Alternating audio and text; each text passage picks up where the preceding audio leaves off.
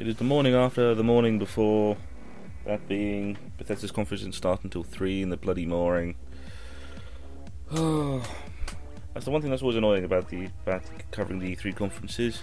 Sony's one is always in God knows when on a Monday morning or Tuesday morning, depending on perspective. The Bethesda conference started off quite well. They had this very long pre-show, half an hour long pre-show, which is basically just them talking about all of the stuff that happened last year.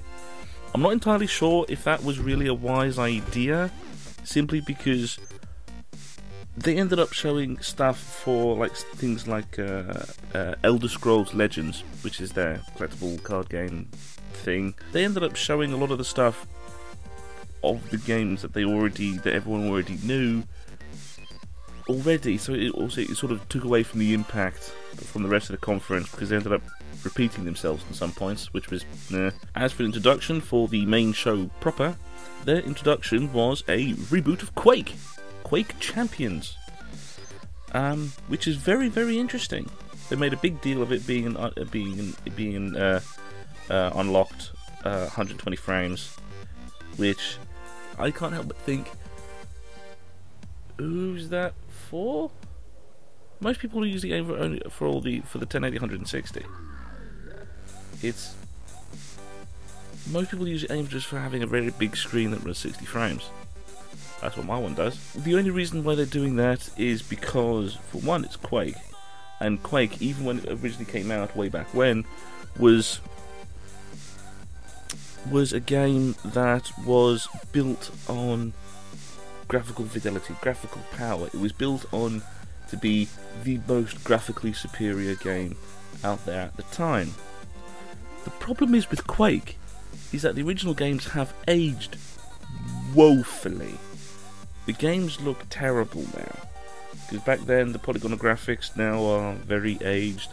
The color palette for, for the game is just brown and beige. It's terrible. Almost a preamble to the modern shooter of the, of the 2000s, I suppose. Having Quake base itself on graphical superiority is not new. Um, problem is, is that the games back then aged woefully because they spent so much time on that. Um, yeah, but it seems to be just a multiplayer one. The bit, the thing that everyone liked. The story campaign was just bays, go from castle to castle. But yeah, it's, it's uh, they made a big thing about, e- about Quake being onto esports, and then they did. Generally, they didn't really say that that much stuff. The trailer that they had was a literal pre-rendered cutscene thing trailer, pre-rendered trailer thing. wasn't even gameplay, obviously. Um, and that was it. Saving all the other stuff for QuakeCon. That that came up a lot. Saving for QuakeCon. That came up quite a lot because uh, Elder Scrolls Legends um, got some more stuff. Uh, got some more talk about it. They showed the actual gameplay for it now, the actual way it's played. Every, every single time they started talking about the gameplay, I couldn't help but think this is kind of like a mixture of uh, Hearthstone and Mojang Scrolls. Hmm, is this is the re- is this the reason why you really made a big stink about Mojang Scrolls, huh? It's big alleyway style thing of two lanes, two, two lanes of attacking the main person. Hmm, it's a simplified yet more complex version of Scrolls and Hearthstone. Hmm. Yeah, it'd be interesting to see how that turns out. They're going to be talking about it a lot more at, at QuakeCon. Uh, then they talked about some of the more Fallout DLCs. They talked. They gave the uh, the three next Fallout DLCs. The first one is a contraptions add-on, which is purely just for making like contraptions in machines like Rube Goldberg machines and things like that. Seems quite interesting. Uh, the second one everyone seems to like, which is the Vault-Tec one, which is where you can actually make your own vault, which is very good. And the first thing I thought, when, uh, when even when they started showing it off, they showed it on, on with the side-on view, like in Fallout Shelter. The first thing that went through my mind is, ah, that is why you made Fallout Shelter. Then this has been long in the making. And then the last one was a theme park style thing called Nuka World, or I think it was called Nuka World. I'm assuming it's called Nuka World. It's just have a time to book your vacation. And there's this big Nuka World, Nuka Nuka Cola theme park thing. So Yeah, that sort of thing. Then they went on to giving so, talk about some of the updates It's coming from to Fallout Shelter. It's a free game, so probably going to get some of the updates, but it's also coming to PC. I wonder if you, I wonder if you have to pay for that because a lot of the app games when they go from mobile to PC, it's usually the microtransactions get taken out, but then it stops being free. A, lo- a lot of the time, anyway. They could just do it free and keep the microtransactions. So, um, yeah, it'd be interesting to see what type of transition they're going to do. Then came the one that was uh, long, pretty obvious that was going to happen. They're not going to spend like the whole pre-show talking about Skyrim and then not do it. Uh, the Skyrim HD coming to Xbox One, uh, Xbox One, PS4, and PC. So this Skyrim HD edition. Okay, it's Skyrim HD. It's not gonna be that much, but one thing that I thought was quite good for it is that the consoles are getting mod support for Skyrim HD, which is very good. That means you now have Skyrim mods on uh, consoles as well. Uh, so it means that Bethesda is helping getting mods to the consoles through Fallout 4, and um, by I think it's next year. I think when it comes out is also for the Skyrim HD edition. This next bit had me mixed for a few. Um, had sort of a mixed reaction from a few people because it's Prey, not Prey Two. Prey. They're doing a reboot of Prey. It only came out a couple of years back. Um, I know it didn't do that well. I think commercially, anyway. Critically, it seemed to be quite alright, but yeah, it's very weird. They started doing Prey 2. They even talked about Prey 2 a couple of years back. And now they decided to scrap the entire thing and just do a new Prey uh, completely and just reboot the entire thing. Which has me. Huh. I was quite intrigued by the um, by the other one because it's very Blade Runnery, very noiry and shooty and shooty and stuff. It, very, it, it seemed quite interesting. Then they just dropped the entire thing altogether and just gone for this quite normal sci-fi story, which is um, yeah. I wonder what happened. I, I, I really can't help but wonder what actually happened to actually cancel Prey, because they've just cancelled Prey two to do a reboot of the original Prey. So yeah, I can't help but wonder what what what what got them to cancel Prey two. That's the interesting one. That's the interesting one. Um, some people who like the original Prey ones, it seems it's and with the with the reboot with the change, it has a mixed reaction among some of the fans I've seen on YouTube and on on on, on Twitter and online and stuff. So yeah, and then they came on to talk about Doom. I know they're going to talk about Doom. Doom is the um, well, one of the big games that they have at the moment, and uh, yeah, they did talk about DLC because the, first thing they talked about was updates to the Doom Snap Map, the map creator tool thing, uh, where they're going to be adding more objects, enemies, game modes, blue blue blue, general updates to the Snap Map, adding more stuff. It's good for the map makers. Uh, and then they talked about the first map pack DLC they have. It's three maps plus um, a new game mode well, it's not it's not, not necessarily a new game mode, but it's a new monster to play as, a new demon to play as in the um, when you get possessed by the demon and stuff like that. But then this next point was quite interesting because they're making the first level of Doom free, but for only this week. Which is weird because Doom, like the original Doom, was built on shareware, where they had the six levels and then the first two were free, and you can just share them around as basically it's a free demo and then um, buy it afterwards. But they're only doing it for one week. As as soon as they said, "Ah, oh, the first Doom level is going to be free for anyone to play to try out," it's like, "Oh, that's interesting." Going back to the old shareware days. And then and they went, "Oh, but only for this week." Like, why? Why? It's there's not much point in it being free then, is it? Could have just called it the shareware demo and gone for the retro crowd. Very briefly, when they talked about Elder Scrolls Online, they kept on saying Elder Scrolls Online voted the best MMO of 2015. Every single critic on Twitter was going, Who the fuck said it was the best MMO of 2015? And I kind of agree. The only thing that I remember being, to- being talked about when Elder Scrolls Online came out was everyone ripping it apart because at times it was badly balanced. People just blazed through the entire story and had nothing to do. It was people ripped it apart because it was a bit buggy, a bit shit, and then they're going, "Oh, it's the best MMO of 2015." So who the fuck said that? It's interesting that they never actually cited a source for that one. They just said best MMO of 2015. The one sort of big bit of news that is, well, it's not necessarily that big for the rest of us, but big for some people is uh, Elder Scrolls Online is going to Japan on June 18th. Uh, no, on on uh, June 20th. Actually, wrote it down. Yeah, on uh, June 20th, it is going to have a uh, Japanese release, so people of Japan can uh, join in the MMO fun. I think they must have waited it out to see to, to test the market to see if it's actually viable. And then they talked about the two DLCs which are coming to it. Um, there's the Dark Brotherhood DLC, which is coming on Tuesday. Everyone knew about that one. Um, which is just the assassins, stabby, stabby, bloody, bloody thing. But then this next one is interesting.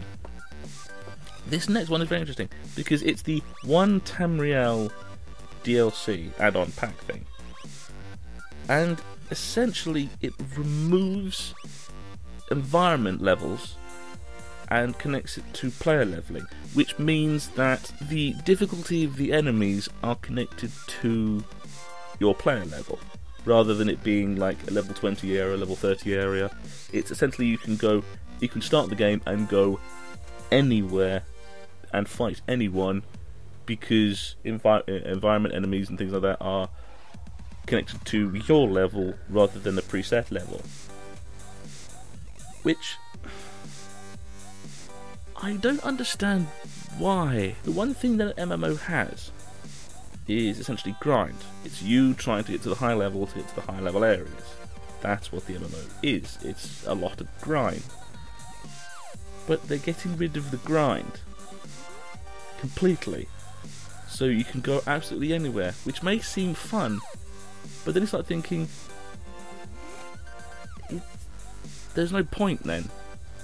There's no point of going off to the highest highest level areas, at the highest level stuff, because you can go anywhere and then do that, which means that the only thing that is going to be of worth, uh, or, or the only reason to have a reason to go and to the high level areas and get the gear and get all this stuff is for PvP. But they didn't say anything about the PvP. I don't think I don't think anyone liked the PvP. And then they went on to VR. Bethesda VR. Bethesda is now moving into the VR space with um, teaming up with the uh, HTC Vive with Steam, uh, which is yeah, pretty good. It's pretty obvious what that was going to happen there. Um, but the interesting things were is that they're saying that there are two games that are coming out. One is basically this Doom tour thing where you can take a tour of hell and monsters and things with Doom, which is uh, quite fun. You can basically got Doom, but also Fallout v- Fallout 4 is coming out in VR next year. It's, it's going to push a lot of people on uh, into getting a Vive because Fallout 4 is huge, and it's going to be a very immersive experience. But the thing that I, the one problem that I can see them having is that you're not going to be able to just do the free roam aspect of Fallout 4 because well, you don't have like several miles of area, do you? So there has to be some control of character movement, which means it's just going to be the headset with the controller. I can guess. I I can see the. I, I, I, I can see them using the handheld controller things of checking uh, checking the Pip-Boy in the arm and all that sort of stuff. But that means you're going to be doing the whole teleport thing with the with the VR bits because you can't move unless you're going to use the D-pad on the thumb as it. So yeah, that's going to be the one thing that's probably going to dent the immersion. Is that the only way you can move is via essentially thumbstick because you don't have several miles of a room. So it may sound like an absolutely amazing thing, but it still it still is limited. Hubris is the one thing that VR always has. So pessimism is probably the best thing to go for it because you're never going to have a perpetual um, in-depth ex- experience with things like Fallout, simply because at some point you are gonna have to just stand there and go around with a, with a D-pad or an analog stick or something because this simply is not the room.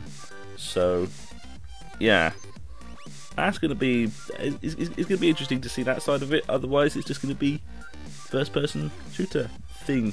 I, I wonder how they're gonna do the whole change gun thing because you can do the flick back for the guns or Pip-Boy equip bang bang thing. So, yeah, it should be interesting seeing that. It will be interesting to see how much of an impact uh, having Fallout 4 and VR actually has on things like the Vive and VR. The whole last section was just on Dishonored. Dishonored 2, where they made a whole big thing. They made a big thing of the new engine that they have, the Void engine, which I can't help but feel what was the point? I don't really care what what the engine it's made of. Oh, but look, game's so fancy. It looks so fancy. Yeah, so the game can look great and still be shit. It's it's having a game look absolutely amazing and have high frame rate still doesn't mean the game's going to be fun. So having them make a whole big deal of Void Engine is, not necessarily bad it's just pointless. The first thing they said is, "Oh, look, you can have, you can see some gameplay," and then proceeded to show a cutscene.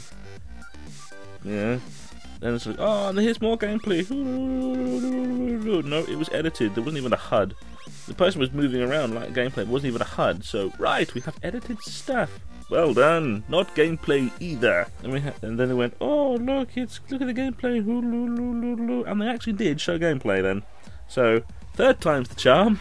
Third time's the charm for actually doing what they bloody say. Seems fun. They went through the new powers because uh, you can now play as uh, Emily, Corvo's daughter.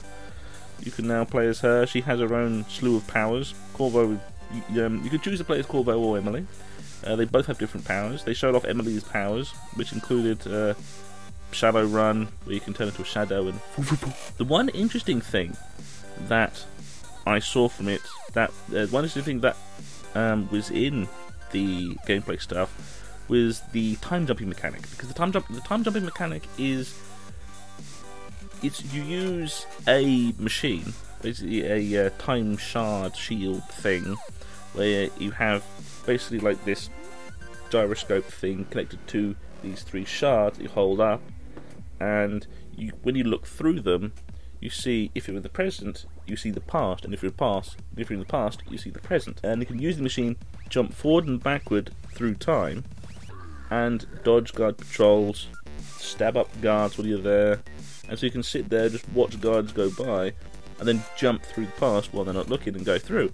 That seems very interesting because it's it's a limiting aspect to stealth is that your vision is limited to just that window which is well, which helps the stealth. It's not doesn't not, not going to make you superly overpowered, but it it, it adds to the stealth because essentially it, it becomes a stealth section afterwards. That was quite interesting. I quite like that bit. That that bit that bit was the one standout thing for it because otherwise it's more dishonored. That's pretty much it. Not really much else to really say about it. It's just more dishonored. They showed off the Dishonored 2 Collector's Edition, which has got Corvo mask and all sort of stuff. Oh look, you get all this special stuff when you pre-order. Oh, I see. Oh, I see. Pre-order, pre-order, get shit. Loads of the stuff, loads of the connect, collector's edition stuff is now just going. Oh look, pre-order the game and get the special stuff. It's like, yeah, but I still may be left with a shit game. So, rather wait. So the Bethesda conference was was all right. It was definitely wasn't as big as last year. Last year, the Bethesda conference was basically the Fallout 4 conference, but it had a lot of stuff to show. So it was going, look, and Fallout 4, and it comes out in three months. It's like, oh, fucking hell. And they had a lot of stuff to show. This year, not so much. Otherwise, not that much happened. It's the. Uh, talked about some of the DLC, talked about some of the updates. Oh, look, we're doing Quake. We're going to show you anything? No. With the Elder Scrolls Legends. Here's, here's what the basic gameplay is. Doesn't that make that Hearthstone? Yes. They didn't have that much to show off this year and the stuff that they do have to show, show off this year, they're saving for QuakeCon. So, Yay! So, Bethesda. Still good, just not as big as last year.